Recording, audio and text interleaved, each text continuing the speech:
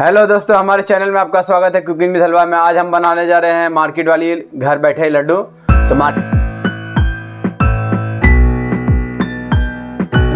तो मार्केट में जो बेसन का लाते हैं, बहुत बच्चा लोग को अच्छा लगता है वो बहुत प्रेम से ला के खिलाते हैं।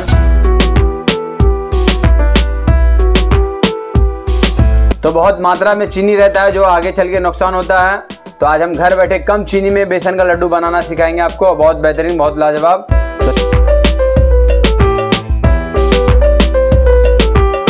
और इस लड्डू में सारे सीक्रेट और टिप के साथ हम बताएँगे किस तरह से कम चीनी और कम खर्च में ये लड्डू बहुत बेहतरीन बनेगा। तो चलिए इस रेसिपी को स्टार्ट करते हैं हम। तो सबसे पहले एक मोटे तली की कढ़ाई लेंगे। गैस को ऑन करेंगे हम। अगर मात्रा में बनाना है तो क्वांटिटी डबल हो जाएगा। कम में बनाना है तो हम कम क्वांटिटी में आपको बताएँगे। तो ये हमारा 180 ग्राम बेसन है, एक कप का है। तो इसमें हम 100 ग्राम अगर डबल बनाना है तो हम अढ़ाई सौ ग्राम बेसन का बनाएँगे। अढ़ाई सौ ग्राम बेसन इसमें इस्तेमाल करेंगे। अभी फ़िलहाल एक कप डाले हैं तो एक सौ अस्सी ग्राम हमारा है। ये हम डेढ़ कप, इस कप से डेढ़ कप में बेसन इस, इस्तेमाल कर रहे हैं तो लगभग ये ढाई सौ, दो सौ पचास ग्राम बेसन है। इसमें लगभग दो सौ ग्राम के अंदाज हम इसमें घी डालेंगे। तो आप कप के नाप के भी डाल सकते हैं, अंदाज से भी डाल सकते हैं। तो दो, अढ़ाई सौ ग्राम बेसन और दो सौ ग्राम घी। ये क्वांटिटी याद रखिएगा। और इसको भूनने में एकदम धीमा तो मीठा तो हमें 20 से 25 मिनट ये बेसन को भूनेंगे। बेसन डाल चुके हैं, कढ़ाई को ऑन कर चुके हैं। ये इस बात को आपको भी ध्यान देना होगा, कढ़ाई मोटे तले की लेना चाहिए। मोटे तले की कढ़ाई, इसलिए पतले कढ़ाई में आपका बेसन जल जाएगा भुंजाइया नहीं होगा, ख़राब हो जाएगा लड्डू, कड़वा लगेगा खाने में। इसीलिए इस बात को आपको ध्यान देना है। कढ़ाई जब भी बनाई, ये सब सामग्री तो आप मोटे तले की कढ़ाई लें। तो अभी फ़िलहाल हम एक चौथाई कप घी लिए हैं। तो अगर क्वांटिटी में आते हैं तो डेढ़ सौ ग्राम पूरा भरा हुआ नहीं है। आधा से ज़्यादा है तो इसको हम डाल देंगे। और जो हमारा पचास ग्राम, पचास एम जो घी बचा है, उसको हम थोड़ा सा भूनने के बाद ऊपर से डालेंगे। जो हमारा ये सीक्रेट है, बेसन के साथ अगर भूनते हैं घी तो घी भी थोड़ा जलता है तो इसीलिए हम थोड़ा सा कच्चा घी डालेंगे। जो हमारा बेसन का लड्डू का खुशबू और अच्छा लगेगा और बहुत बेहतरीन ये लड्डू तैयार होगा। तो पहले हम इसी घी में भूनेंगे।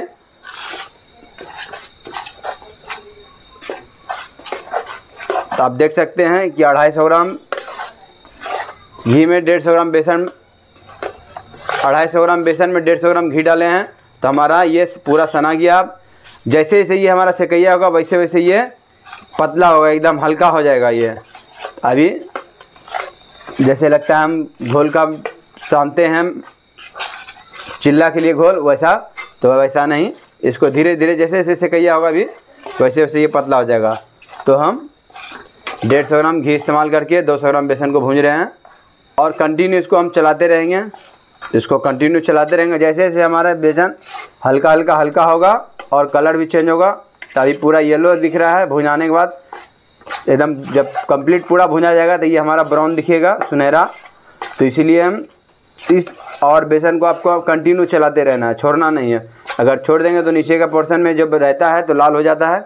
इस बात को आपको ध्यान देना है। तो कंटिन्यू हम करते हैं इसको। तो इस बीच में हम क्या क्या सामग्री लगेगा तो वो हम बता देते हैं आपको। आप लोग घर बनाना चाहते होंगे तो आप लोग को जानकारी नहीं है किस तरह से बेसन भूनना है। तो इस बात को आपको हमेशा फॉलो करना है कि हम जब भी बेसन भूनेंगे तो धीमा में तेजता में बेसन भून करके लाल कर लेते हैं। बेसन का कच्चा कच्चापन जाता नहीं, वही तित ठहना लगता है। तो इस बात को आपको ध्यान देना है। गैस को एकदम सिम कर करके जैसे हम बता रहे हैं, बस उसी प्रकार से आपको बनाना है। आपका परफेक्ट लड्डू और बाज़ार से बहुत बेहतरीन। जैसे एक बाज़ार का हम लाते हैं तो बहुत बढ़िया कि बाज़ार में लाते हैं, पैसा लग भी जाता है बहुत सारा तो और बेहतरीन। इसमें बाज़ार से कुछ हट के बनाएँगे इसमें थोड़ा सा ड्राई फ्रूट भी हम इस्तेमाल कर सकते हैं। आप चाहे तो आप भी कर सकते हैं। एक मिनट से हमारा कुछ ज़्यादा समय हो चुका है तो हमारा बेसन थोड़ा सा लूज हो रहा है। जैसे जैसे हार्ड गर्म होगा वैसे वैसे पूरा इस तरह से हम उठाएँगे तो आराम से गिर जाएगा। अभी चिप, छोलनी चिपका हुआ है। छोलनी का और बेसन का कम्बिनेशन बहुत बरकरार है, प्रेम बहुत बढ़िया है, जो इस छोड़ नहीं रहा है। लेकिन जब जाने का बारी होगा तो आराम से इसको छोड़ देगा। तो हम लड्डू बनाते बनाते चरा सा चाय का भी चुस्की ले लेते हैं। मज़ा आएगा। देख, देखिए, ये हमारा लगभग तीन से चार मिनट हो गया। और गैस का फ्लेम देख सकते हैं आप। एकदम लो, जैसे घर का चूल्हा घर में रोटी पकाते धीमा था में, उसी प्रकार का धीमा दाम में अगर बहुत हाई प्रेशर चूल्हा है तो उसको कंट्रोल कैसे करेंगे? तो उसके नीचे कोई कोई सामान रख लीजिए, तावा रख दिए उसके ऊपर कढ़ाई चढ़ा करके बनाइए। अगर मोटे तले कढ़ाई नहीं है तो ये भी आपके काम आएगा। जैसे हमारे पास पतला कढ़ाई है, मोटा कढ़ाई नहीं है तो करना क्या है? तो उसके नीचे एक तावा रख दीजिए रोटी पकाने वाला, उसके ऊपर कढ़ाई रख करके आप आराम से इसको भून सकते हैं। तो अब हमारा देख सकते हैं, लगभग ये चार से पाँच मिनट होने वाला है और हमारा बेसन का थोड़ा सा छोलनी से दूरी बन रहा है। तो इस कारण से हम जैसे जैसे हमारा बेसन अच्छी तरीके से भुंजैया हो जाएगा तो ये छोलनी और बेसन का दूरी बढ़ते जाएगा।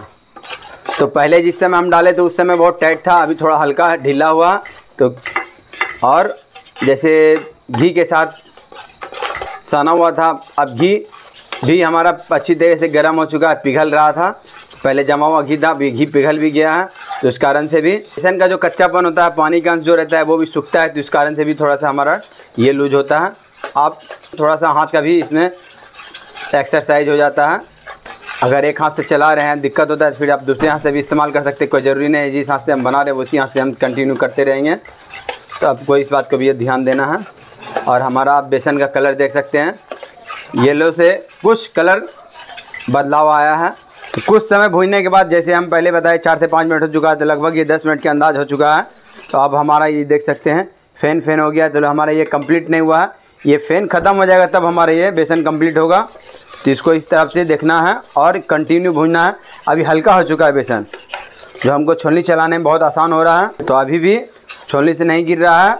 और कुछ अब थोड़ा देर के लिए इसका गैस और सिम करेंगे हम।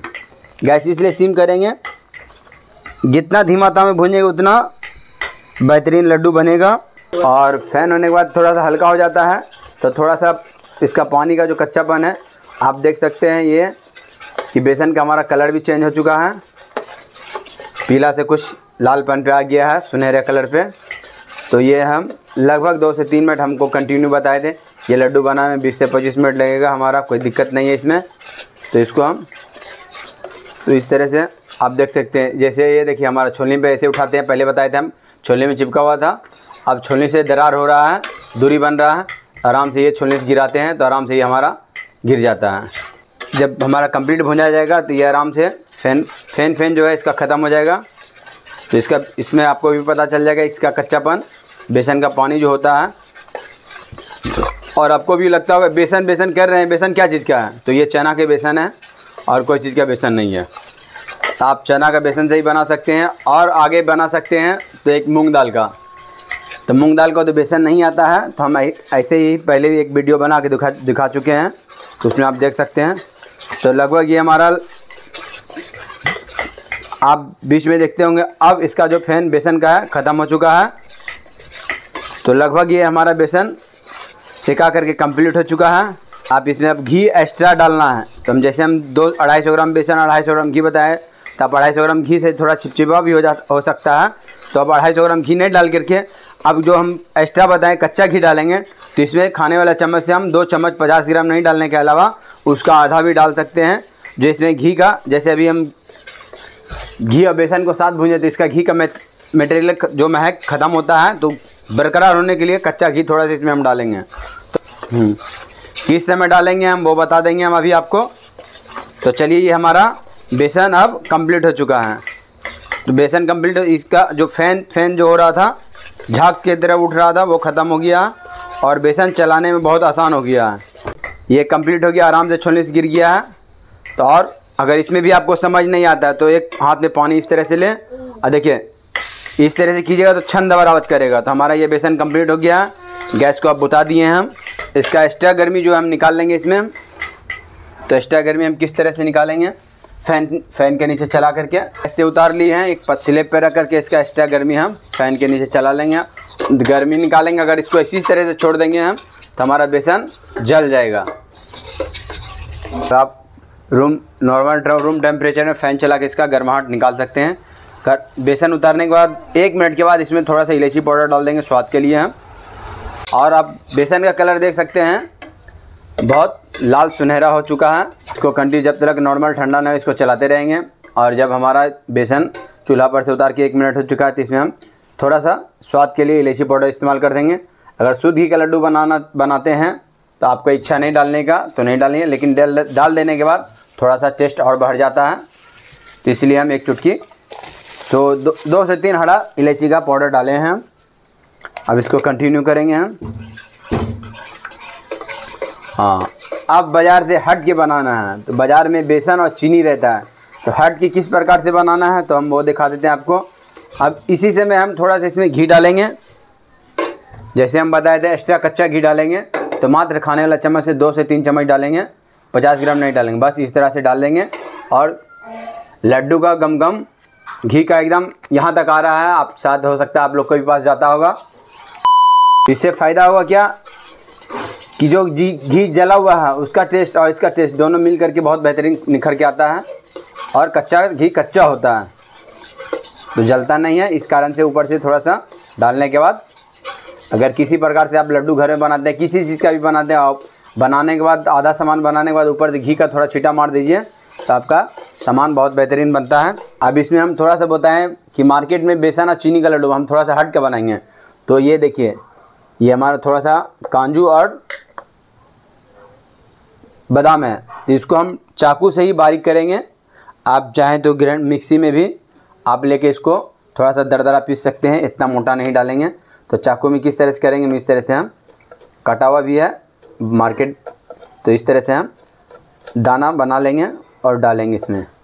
तो गरम में ही डालेंगे जो इसका कच्चापन होगा, थोड़ा सा डाल देंगे तो इसका भी थोड़ा सा टेस्ट आ जाएगा, मुँह में बिठाएगा तो अच्छा लगेगा। आप अपने अनुसार भी देख सकते हैं, ज़्यादा भी देख सकते हैं, कम भी देख सकते हैं, नहीं भी देख सकते हैं।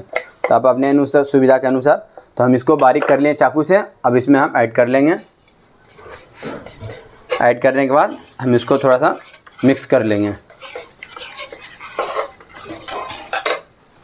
आप इसमें चाहें तो थोड़ा सा कच्चा कोकोनट पाउडर भी या बारीक मार्केट में जो आता है कोकोनट पाउडर वो भी इस्तेमाल कर सकते हैं। लेकिन बेसन का लड्डू है, इसीलिए कोकोनट पाउडर हम नहीं ऐड करेंगे।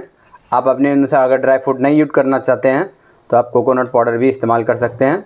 बरसते कि आप बेसन भूनने के कुछ समय बाद देना, कि बेसन भून रहे हैं तो उसमें कोकोनट जाएगा तो कोकोनट का अगर अपडेट ताज़ा रहता है तो कोई दिक्कत नहीं, पुराना होता है तो कोकोनट का थोड़ा सा चमचमेना स्मेल आ सकता है। तो इस बात को आपको ध्यान देना है। तो हम इसको ठंडा कर देते हैं। जब जब अच्छी तरीके से ठंडा हो जाएगा तो इसमें करना क्या है? जब अच्छी तरीके से ठंडा हो जाएगा, तब इसमें करना क्या है? हम इसमें पिसा हुआ चीनी डाल के इसको बांधेंगे। ड्राई फ्रूट मिलाने के बाद लगभग 20 मिनट हमारा चुका है। ड्राई फ्रूट भी गर्म में डाले हैं तो ड्राई फ्रूट भी थोड़ा सिका सिका गया है। तो इसको एकदम ठंडा करना है। मतलब गुनगुना सिका गर्म रहना चाहिए, लेकिन अभी बहुत ज़्यादा गर्म है। तो इसी प्रकार से चला के हम इसको ठंडा करेंगे। पिसा हुआ चीनी डालेंगे तो पिघलने का थोड़ा सा एकदम ठंडा हो जाता है। हल्का गर्म रहने पे डालेंगे हम गुनगुना पे। तो इसको कंटिन्यू चलाते रहना है। ये हमारा ठंडा हो चुका है, गुनगुना गर्म है तो हम पिसा हुआ चीनी लगभग डेढ़ सौ ग्राम का हम अंदाज लिए हैं। हम इसको धीरे धीरे एक बार नहीं डालेंगे, इसको ऐड करेंगे। और इसको मिलाएँगे, डालते जाएँगे और मिलाते जाएँगे।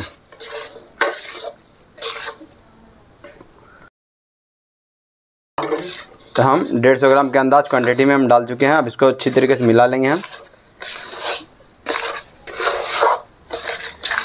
और इस तरह से आप देखते हैं, बेसन में जब डालें तो हमारा सूखा हो गया। तो आपको लगता है कि गीला है। तो इसमें थोड़ा सा हम तो हमारा जितना ऐसे मार्केट में है, एक के जी बेसन था डेढ़ के जी डेढ़ किलो, दो किलो चीनी ऐड कर देता है।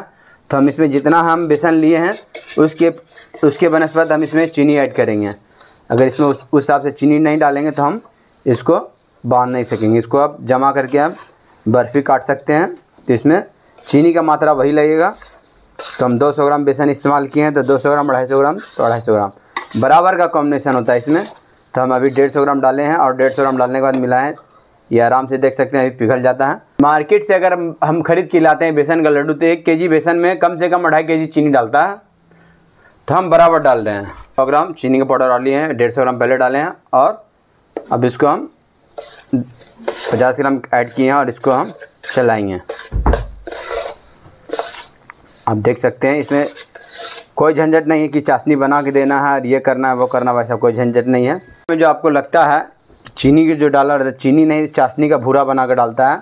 कुछ कुछ दुकान में चीनी पाउडर जिस दुकान से लाते हैं, खचखच करता है तो वो चीनी पाउडर रहता है। खचखच नहीं करता है चीनी पाउडर रहता है अब बाद में जो खचखच करता है तो चीनी का, चाशनी का भूरा बनाता है मतलब चाशनी गला के उसको फिर से चीनी बना कर इस्तेमाल करता है। तो ये हमारा, ये लास्ट वाला पर्सन पूरा डाल दिए हैं। तो लगभग हम ये अढ़ाई सौ ग्राम चीनी पाउडर इसमें इस्तेमाल कर चुके हैं। बेसन भी हमारा अढ़ाई सौ ग्राम था। इस तरफ़ से अब छोलनी घसका करके हम हाथ से मिला लिए हैं हम। अब इसको हम बाँध लेंगे। हमारा लड्डू बांधने लायक हो चुका है। तो लड्डू बांधना तो आपको लगता होगा पहले गीला था, अब ऐसे भड़भड़ा कैसे हो गया? तो जैसे हम आपको बताए थे कि अढ़ाई सौ ग्राम बेसन में अढ़ाई सौ ग्राम चीनी डालेंगे तो अढ़ाई सौ ग्राम के साथ डेढ़ सौ ग्राम घी डाले तो घी के अलावा भी चीनी डालना चाहिए तो इसीलिए चार सौ ग्राम टोटल इसमें हम चीनी पाउडर डाले हैं। घी को मैनेज करने के लिए इसमें, जैसे अब दुकानदार लोग के लिए बताएँ तो दुकानदार लोग किस तरह से डालता है तो जैसे हम चार सौ ग्राम डालें तो वो एक के जी आठ सौ ग्राम डालता है। उसको और भड़ भड़ा रहता है तो उसको बांधने में थोड़ा परेशानी होता है। तो हम खाने के लिए बनाए हैं और ये परफेक्ट लड्डू तैयार हो गया है। तो कॉम्बिनेशन है।